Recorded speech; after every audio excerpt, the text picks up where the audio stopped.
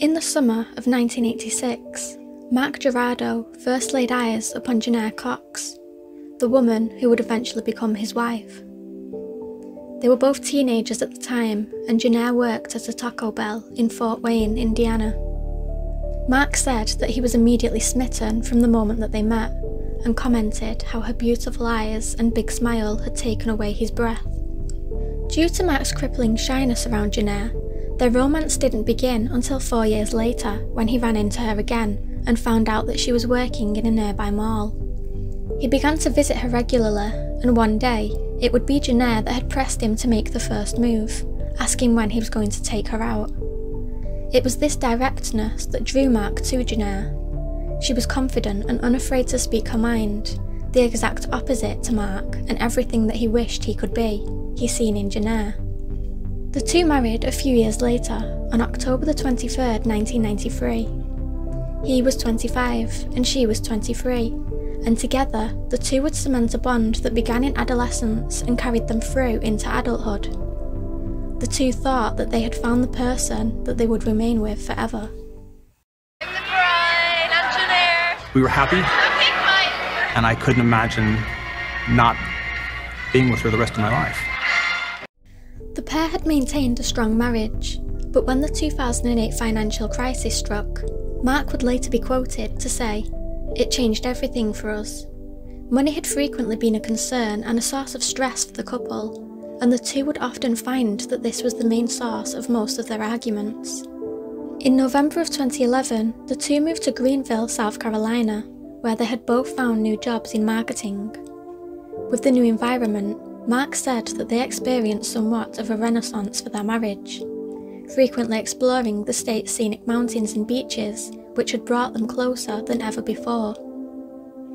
All was well for the next few years, but in 2017, their renewed life in South Carolina came to a standstill. Jennair had been let go from her job and was having difficulty finding a new one.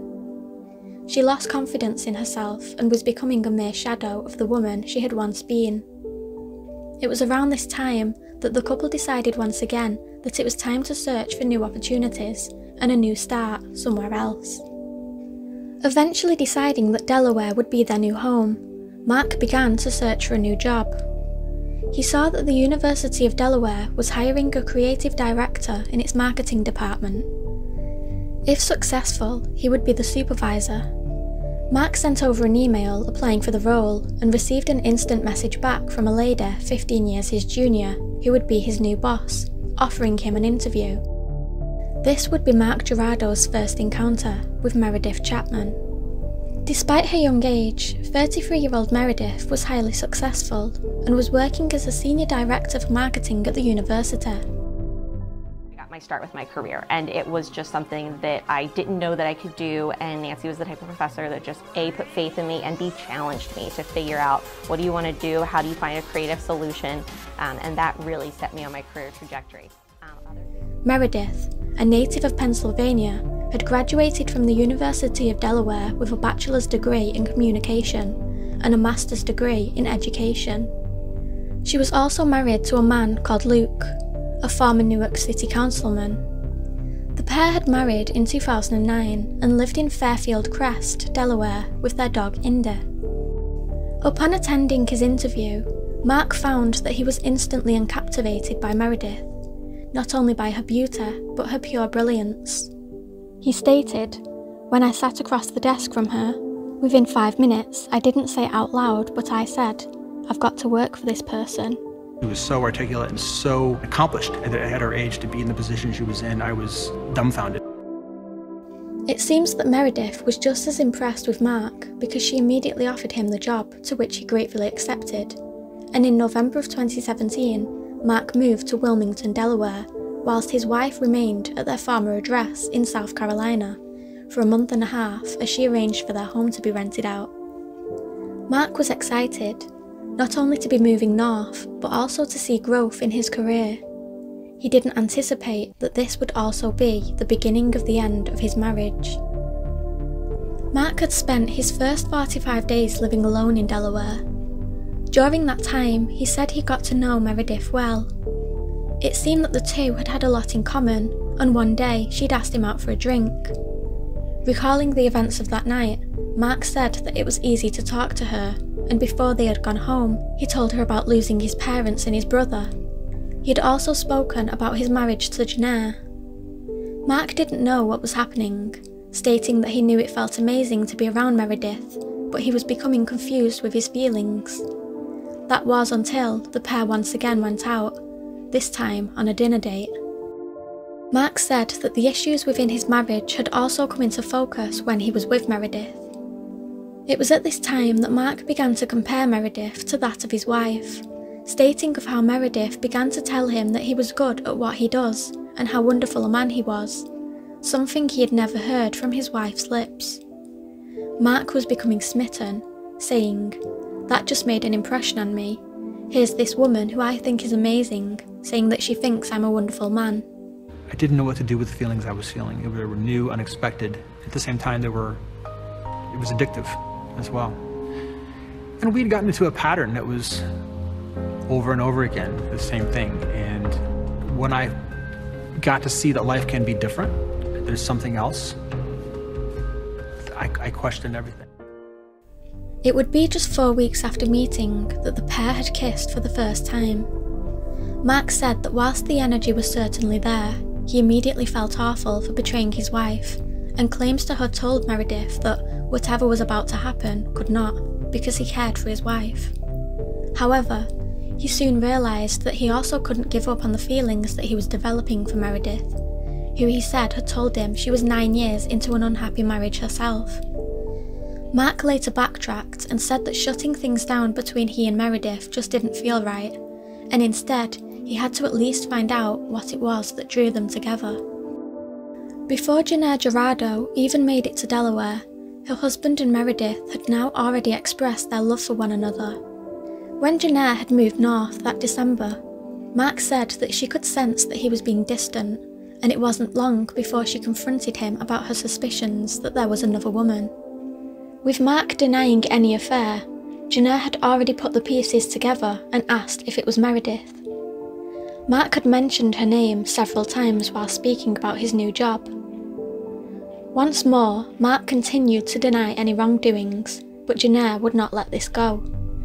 Now aware that something was off with Mark, Jennair began to keep tabs on her husband. However, it didn't take long for Mark to notice that Jennair had mysteriously begun to know things about him and Meredith, and he couldn't understand how she knew them. Now nearing Valentine's Day of 2018, Jennair had finally received the confirmation that she'd been looking for. But her husband's admission of an affair had come at the cost of her own. She admitted to her husband that she had hired a company to gain access to his phone, allowing her to read his texts and see his photos and records of calls that he had exchanged with Meredith. I felt more joy, more excitement this fall than I ever did before. I want to see you again today. I really want to. I kind of need to. Where are you going to be? Thanks. Love you too. Bye. Mark knew that he could not keep up with the lie any longer and admitted the truth to Jennair that he had indeed fallen for Meredith. Devastated, but refusing to simply give up her husband, Jennair asked Mark to attend marriage counselling. He told her that he would attend, however, on the day of their second session, as Mark put on his jacket, he felt something bulging in the lining of the material. And I reached inside my pocket and I felt what I thought was a um, anti-theft device. I cut open with an X-Acto blade the edge of the pocket and pulled out this device, and there was a blinking light. It was a listening device. It was a listening device. Furious, Mark confronted his wife, who innocently claimed that she just wanted to understand the degree to which Meredith and Mark were in their relationship. From that moment on, the relationship between Mark and Jennair Gerardot would fall apart at an accelerated pace.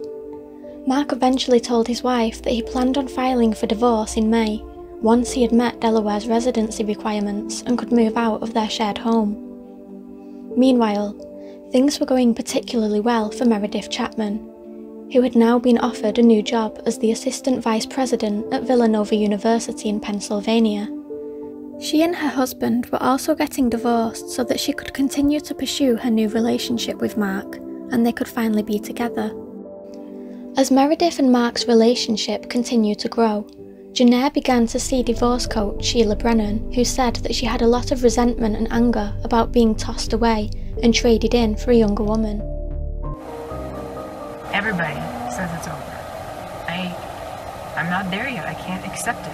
Jennair was concerned about being tossed away. You don't find me appealing. You don't find me attractive. You don't want me anymore. You don't even like me. You are miserable. She lights your fire. She makes you feel young. She had huge fears about being left financially. I realize that this whole situation has caused you not to be able to get a job. I get that, I really do. Screw the pooch. Big time. On us, our my future, your future, our future, our finances, everything. You screwed the pooch because you made an immoral, selfish choice. Things for Jennair seemed to go from bad to worse, and eventually, this had taken a toll on her mental health. At one point, Jennair even threatened her husband that she would jump out of the window. He recommended that she see a psychiatrist and asked her to also seek support from her friends and family. Jennair took this advice, and he said that she seemed to become more accepting of the upcoming divorce. One day, Jennair approached her husband with a list of requests for the weeks leading up to him finally moving out.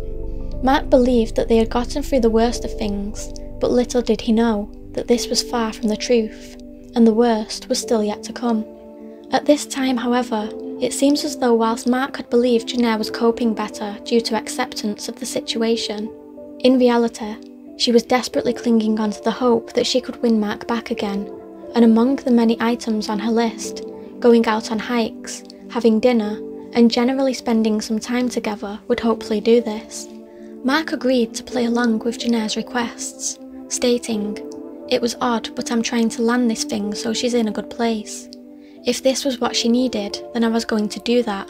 Believing that he was helping Jennair to gain closure of their relationship, Jennair was actually getting her hopes up that this was bringing her and Mark closer together again. Jennair also began posting on the neighbourhood app Nextdoor, asking for recommendations for an excellent marriage guidance counsellor for a couple on the brink of divorce. She went on writing, We will need someone who is very educated and experienced dealing with couples issues, including infidelity, depression, traumatic experiences, child parent dynamics, being accountable for actions, etc. On the night of April the 23rd, 2018, Mark and Jennair Gerardot were supposed to meet for dinner as per Jennair's request to continue to spend time together. But in a series of text messages, Jennair told her husband, who was already at the restaurant, that she was running late before she sent another one telling him to go home because she wouldn't make it. Minutes later, as Mark got up to leave, he received a picture from Jennair. This picture showed an emptied trash bag with a condom in the middle, followed by another text from Jennair that read, You ruined my life. Mark knew immediately that his wife was sifting through Meredith's trash can outside of her home that she had lived in for merely a week. He said that the next two messages from Jennair had read, I hope you never find happiness, and bye Mark. Fearing for Meredith's safety and afraid of what his wife might do, Mark tried to call Meredith and text her multiple times. All forms of communication, however, went unanswered. He rushed to Meredith's home, expecting to find a confrontation between the two, but when he arrived, he found something worse than he could ever have imagined. Laying face down on her kitchen floor, with a pool of blood forming around her head, Meredith lay lifeless. Nearby, he found his wife's body also laying on the floor, Less than two hours before her death, Meredith had gushed on her Instagram account about her new position at Villanova, writing that she couldn't be more excited. Later that evening, Meredith arrived at her new home on Lowry Lane in Radnor Township, parked her Audi in the driveway, opened the door, and walked straight inside, completely oblivious to the fact that Jennair had broken in and was lying in wait. Tim Mulver, one of Meredith's neighbours was there when Mark arrived at the home. He had already heard the commotion and had gone outside to see what had happened. Mark Gerardot had told Mulvey to call 911. Mark, who Police Chief Christopher Flanagan said seemed to be hyperventilating, was placed in the back of an ambulance before he was brought to the police station as a suspect in the crime. But after questioning and finding the gun used in the two deaths underneath Jennair's body, the police determined that she had broken into Meredith's home before murdering her and then turning the gun on herself. One day after the murder suicide, police received a tip from a person who said they had seen a woman in a trench coat, hat, sunglasses, and a possible wig scoping out the house with binoculars. Police also collected a set of keys from the crime scene, which they determined belonged to the Cadillac that Jennair Gerardot had rented. Mark Gerardot said that he continued to dig in the aftermath of the murder suicide he pored over his wife's bank statements, phone records, and her computer backup, and found that she had been living a double life. After her husband admitted to the affair just after Valentine's Day, Jennair had opened up a secret bank account and credit cards. She used the credit cards to purchase the audio surveillance equipment, as well as a lockpicking kit, computer hacking software, and DNA testing kits for his clothes. She had even bought sophisticated GPS tracking systems and attached these to both Mark and Meredith's cars. Mark went on to state, I think there were over 400 images of private conversations that Meredith and I had via text and via Snapchat, and she would actually, in the middle of the night, get access to my phone. Mark Gerardot said, My best guess as to how she gained access. I was sleeping on the couch and she'd put my thumb on the phone reader Jennair Gerardot bought the gun that she would use in the murder suicide on March the 20th, 2018, five weeks before she committed the crime. Mark said that the credit card statements had shown that she had practiced shooting the gun three times at a firing range. He said that the audio recording device that he found in his jacket wasn't the only one that his wife had used. He said she had planted multiple devices in his clothes and that he had found files containing hundreds of hours of audio that his wife had recorded, even transcribing the audio into notebooks. He said she took all of my jackets and had a multitude of devices that she was cycling in and out. Every day she would take it back out and then sew it back in, download it, and back and forth. She had done this for weeks. It came to light on the night that Jennair had killed Meredith and herself.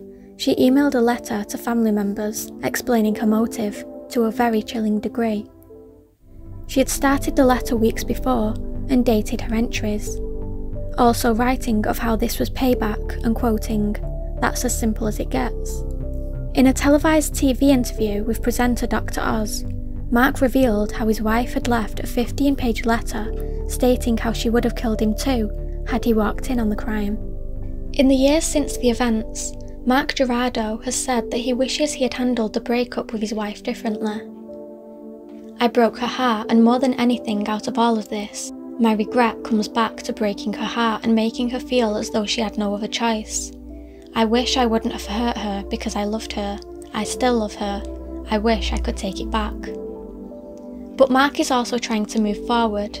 He said that he has driven past Meredith's home several times and that doing so has helped him come to terms with what has happened so that he can let go. Mark Gerardot has since published a book about the incident.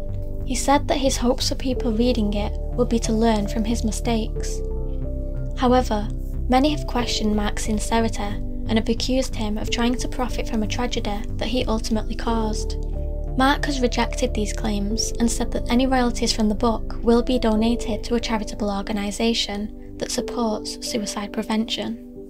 Too painful for me to see you living your life happy. She's living my life.